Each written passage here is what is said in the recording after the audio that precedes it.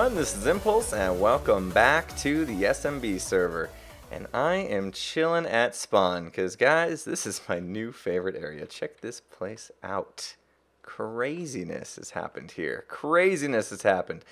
I obviously didn't do this guys. You know me. I don't build this well. I am not a builder. I am a technical automation type person. I can't build like this. This was actually the brilliant work of two of our newest members on the SMB servers, Xyntak and the Duke Minecraft. And I think the Duke came up with this design. Xyntak did the arches back here and the pathways and maybe some of the shrubbery. I don't know. But uh, yeah, oh, geez, Spawn's looking great. And as you can see, the point board hasn't changed. That's because we didn't get a chance to live stream this week, so we didn't do a competition. Thanks to some jerk face DDoSers that took down Twitch the night we were supposed to stream. Thanks a lot for that, jerks. and sadly, you can see the relic chilling here on the blue block. So let me explain something first. The way the relic works is if there's nobody on the server from your team, and say say you have it, nobody else is on, you're about to log off, you're expected to come put the relic down. That way, next time somebody logs on, they can pick it up. And that way, you know, as long as somebody's on the server that belongs to the team that's that's holding the relic or that's in possession of the relic, um, that you know, it'll be held by somebody at most times, right?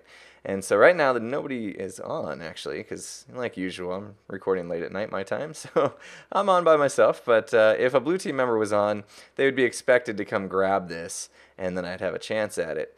So a lot of you are probably wondering, well, if there was no competition, the last time you saw the relic, it was in my hands. I uh, I got killed.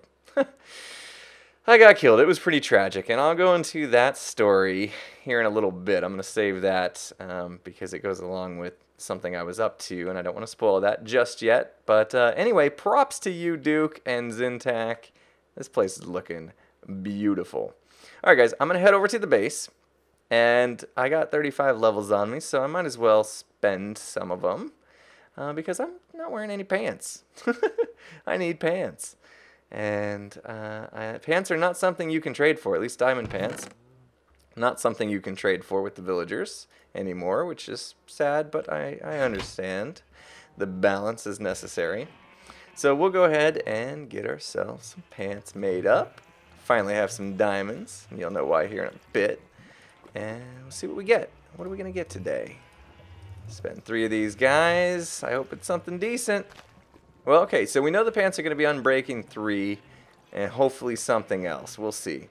And if not, I can always save them and combine them with something better later. Okay, let's see what we got. What just, oh, I got to click the thing. I know how to do this. Oh, there we go. That's not bad. I will take that any day of the week. Protection 4, Unbreaking 3. There we go. Now I got fully enchanted gear. Looks like my boots are starting to hate life. Got, got nice boots. Protection 4 and Feather Falling 4. Unbreaking 3. So, okay, maybe they'll last a little bit longer. And those of you wondering probably saw I only went from 35 to 32. I know this is still a question, big question people are having. On 1.8, you only spend, you still need to get to level 30 to get all three of those uh, tiers that I had available when I put in three lapis. But once you once you spend it, it only takes three three levels away.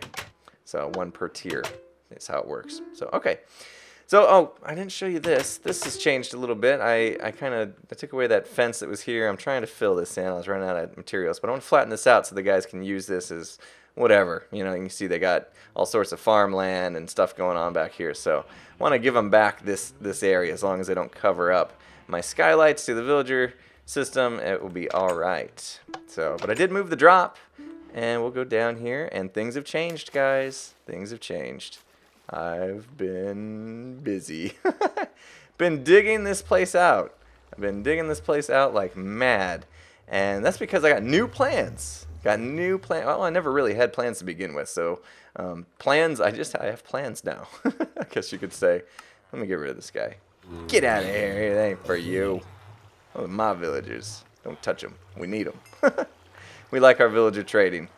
That's actually a big part of the plan, guys, is I am going to kind of focus on villager trading. Um, and the idea for me is I want to build farms that are made for trading, basically. So if they trade for it, I will try to automate it Um, that way we can just have lots of emeralds and trade for you know whatever gear we can get from them which there's a lot of good stuff. You can get diamond picks you can get diamond swords you can get diamond chest plates. Um, so there's still a lot of good stuff that we can get from them oh and books. Books are going to be very important. Um, that way we can just use the librarians to get whatever enchantment books we actually want and apply them to uh, the gear we have. So in order to do that i needed a bunch of area for all the farms i'm going to be doing and what I decided to do was basically utilize the spawn chunks that I have available. So within my team's border, which is right here, this wall, um, anything on this side is actually belongs to the gold team. This is the border. On this side is the neutral zone. Over here is, is our border, um, is our side. Um, but we actually have some spawn chunks from that wall to that back wall are all spawn chunks. And then all the way down to, from that wall to that wall are all spawn chunks. So my plan is basically to dig this whole thing out from bedrock basically to about layer 40. And that's just because I want to dig out the slime chunks as well. And then we're going to build what we are going to call the facility. And the facility is basically, think about it like an underground hidden layer, Area 51 style. You can see we're going with the iron blocks, not just because, you know, iron blocks right now is probably the material we have the most of, but because it's nice and bright and underground, you want to stick with bright kind of blocks. Going to have a lot of lighting. Now, I'm talking about doing sea lanterns, so that may bring up some fun farms later, if you know what I'm talking about. Um, so yeah, yeah, we're gonna have a lot of lighting, a lot of light colored blocks in here. Uh, Got to dig this whole thing out, and I've been making a lot of progress. Half slabbing to try to keep it spawn proof as we go, um, but they're still sneaking in. Those guys are sneaky. So anyway, that's the plan. Um, but before I came up with this plan, I decided I wanted to build this, a slime farm. Perfect timing, guys. Thank you. Thank you. Welcome to the party. Um, so you can see here, I got just a standard slime farm. Got a little lava separator. It's going to break them down into medium. Mediums are going to break down into small. Uh, a couple of them will get burned up in there just because I got a bedrock piece that was kind of in the way. But um, then they make their way over here. They're going to go up the ladder and fall down. And slime. slime balls for days. Yeah, we're starting to get a lot of them. And that's because we got quite a lot of floors built. Let's see, does this ladder go all the way up? Oh, it does. Oh, let's go on top. I haven't been up here. Um, I actually built the first couple layers, and then Xyntak came along and helped me out tremendously by building the rest. So let me go up here and see what he's done. Hopefully there's a nice glass roof. There is. Perfect. Ooh!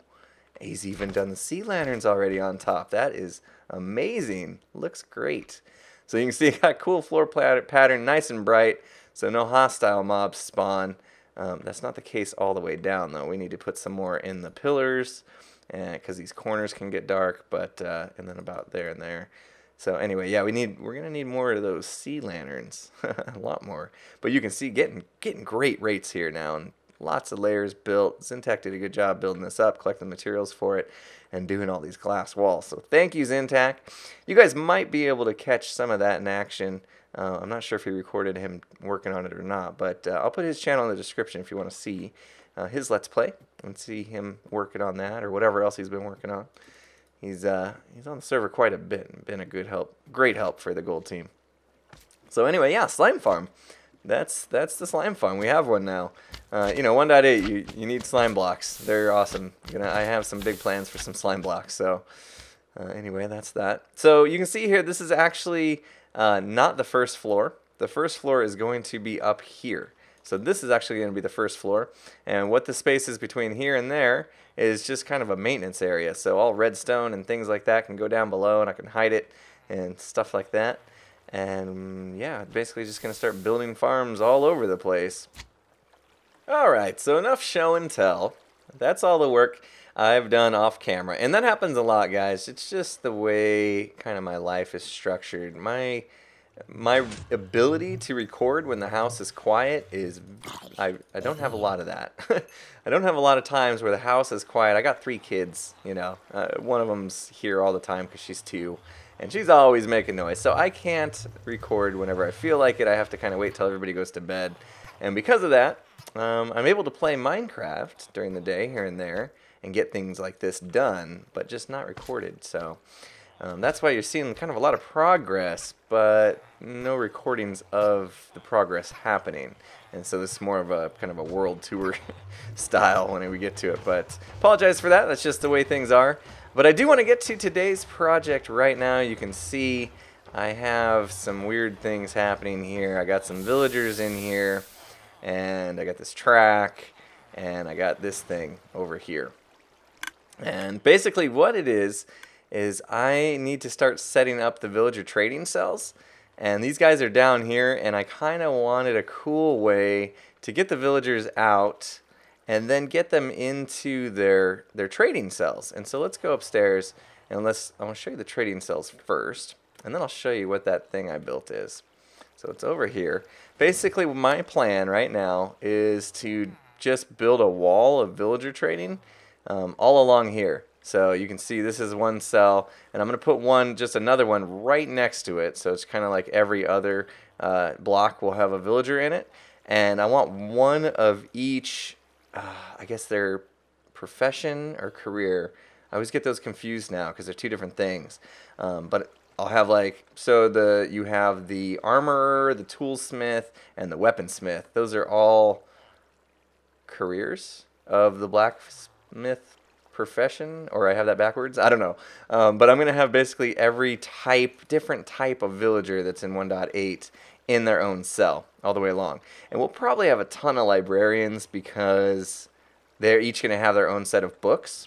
And we're going to want to have basically almost, not almost every book you can get, but, you know, a lot of the good books. So we'll have a lot of librarians. And I'm thinking um, just to just to make it so it's easy, just having them all along this wall and there'll be this nice big corridor. And that way for the farms, there's still, you can kind of go different rooms off to the right and stuff. Um, so that's kind of the plan. But in order to get the villagers in these things from down below, I wanted there to be a cool way to do it. So, okay, first of all, let me explain. There's a chest here. And there's also, you know, there's a glowstone, so we don't have to worry about mob spawning. But then sometimes you're trading, you accidentally do that. And that stinks because then you can't get your items back, you know? Uh, so what I did is I put a hopper there, and you can see there, and just get get get those items right back. So whether you throw them in there or not on accident, you can get them right back. So that's why that's in there. And then I got the stairs, and I got this this uh, iron gate here, or iron trap door, it's called, um, just to make sure that none of the zombies or the kid zombies can get in. I'm really hoping the chicken jockeys can't jump this and get in. I don't think they can. Uh, but I know they're they're smaller than this gap here, so we'll have to see about that. In fact, I may end up doing that just to be safe. Um, did give them a little headroom here because of the, the mechanism here that I'm about to show you. So let's go take a look at that. You can see this is the sorting system. I probably move, well, I'll definitely move all this stuff once the floor goes in. Um, all this is just for storing as we dig, so all that will get sorted out. But here, let's go ahead and demonstrate this thing. And this isn't perfect yet. I just wanted to get a working concept going. So get villager here, hopefully. Come on, get in there. Oh, put that glass in there just to make sure if zombies get in there, they could get those guys through the corners. So just wanted to protect. Okay, good. We got a, a cleric probably. Yep. All right, go ahead, buddy. Go ahead. We'll, I'll have to push him out of here.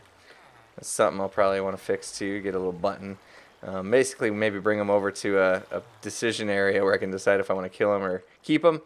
Uh, get them up onto this, and right now I got to push them in a little bit. I can't put a I can't put a rail there because of the way the slime block thing works. So I might have to figure out how to get them more momentum coming into here so that they're all the way on that block without there being a rail. Um, but from there, now what we can do is basically just hit a button, pushes them up, and basically what happened was when I pushed the button, the slime block ejected them up, and then these actually pulled back for a couple ticks and then pushed him into the trading cell. And so let's go up there now. He should be in that trading cell. Nice and tight. Let's see. And there he is. So now we have him in our trading cell. So basically, if I build one of those mechanisms for every single trading cell along the way, then I'll be able to control um, refilling them if anything ever happens or we decide, you know, we're sick of them and want to kill them. Mm, 38 flesh for emeralds. It's okay. It's okay. I don't have flesh on me right now. I haven't been AFKing at the zombie farm as much as I used to. So let me let me go down here. I want to show you some of the redstone uh, how this thing works because I literally just designed it just a few minutes before I hit record today. Um, so basically, it's fairly simple. You have uh, a piston down there with a slime block on top. These are all furnaces over here, just so, you know, because you need a immovable block for these slime blocks to be able to go up and down um, without kind of getting stuck to the blocks. And then we got the button here that's on a furnace also because it's next to the slime where the slime block will be when it goes up. And then it's going to power this repeater, which basically just goes into this pulse shortener, and that's going to give a four tick signal now.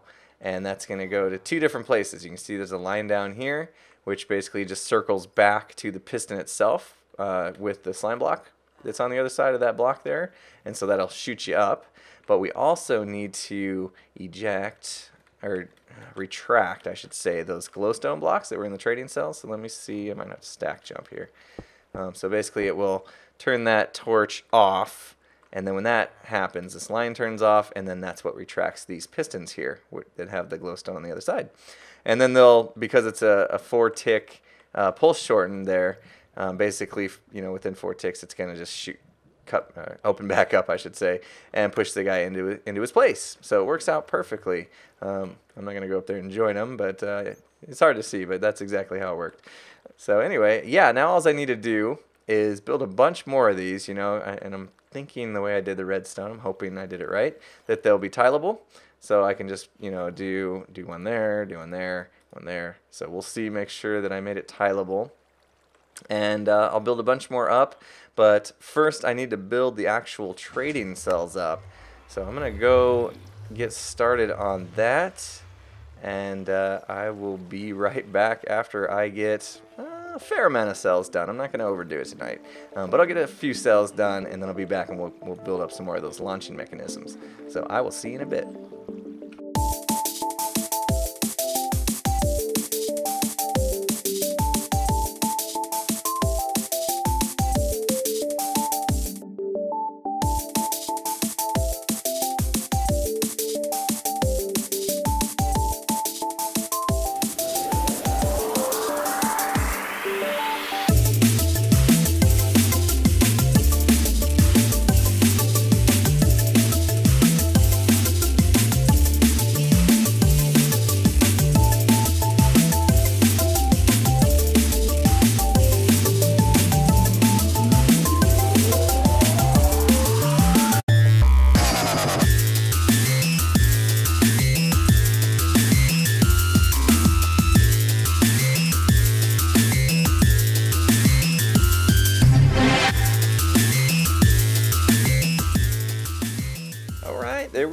Got them all built out. At least uh, 11 of them, I think I counted. So let's go ahead. This is the one we got the villager in.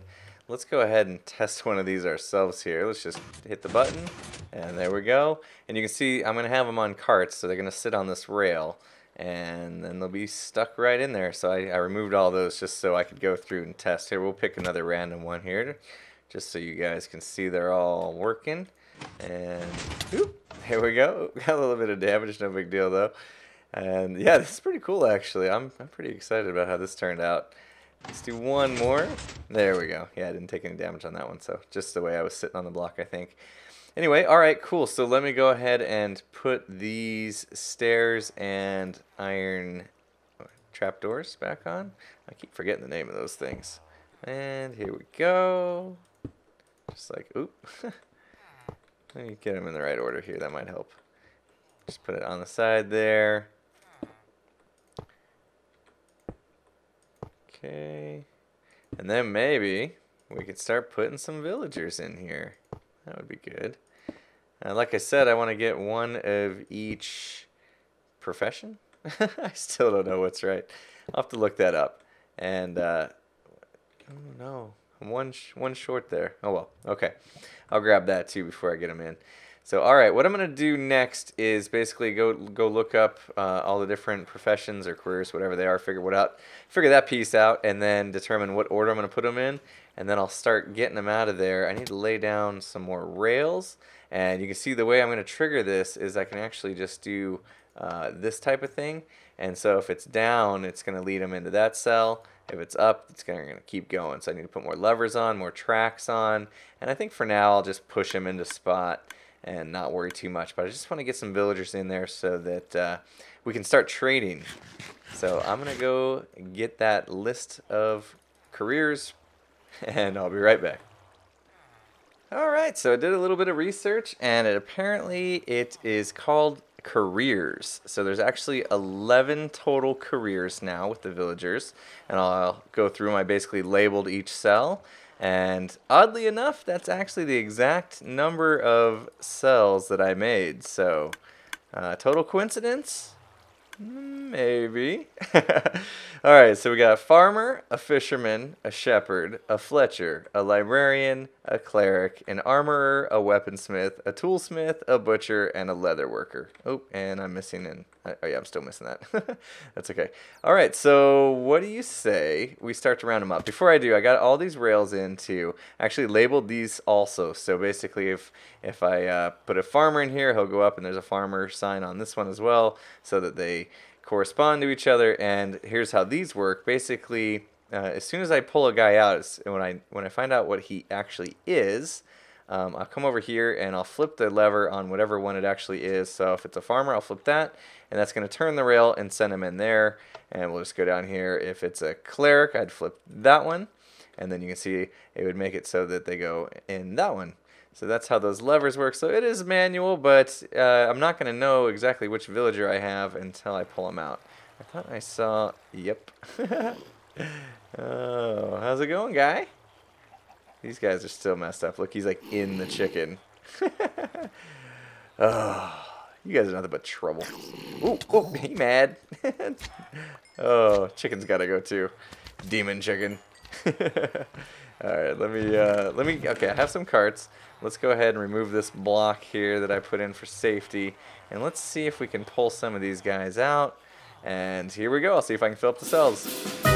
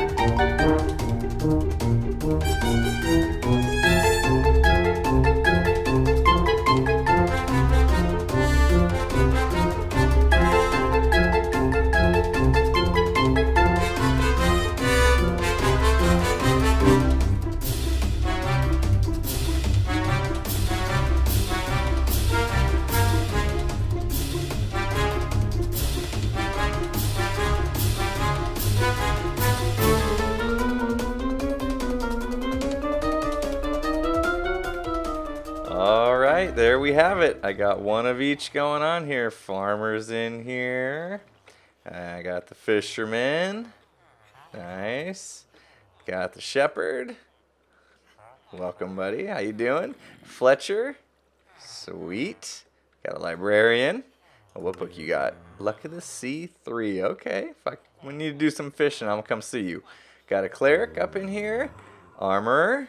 All right. So far, so good. Weaponsmith. Nice. Toolsmith. There we go. Butcher. And finally, the leather worker. All right, one of each career. There we go. 11 total. All sorted. Uh, I definitely have some things to work out with the transportation system. This piece is okay. It's just the whole getting them out of the collection cell uh, you probably saw derped up just a little bit, let them out and chased them around. Yeah, so um, definitely going to need to do some work on the extraction to where I can make it safe for them to be stored in there and yet also safe for me to pull them out when I need to. So and then yeah, having to like get them on the track and then run and flip a switch and then come back and push them was no good either. So, couple things yet that I need to work out, but all in all, I'd say pretty successful now. We have our villagers, at least one of each career that we can uh, start trading with. And as we start going through and I start seeing what the trades are, you know, I'll start thinking about, you know, potential farms and things like that. I mean, look at this farmer right now. Uh, he wants carrots. Well, guess what? With this whole uh, iron farm, I should have some carrots uh, because the villager breeding stuff that's going on. Ooh, yeah, look at that. Look at that. See-through chests. Yay!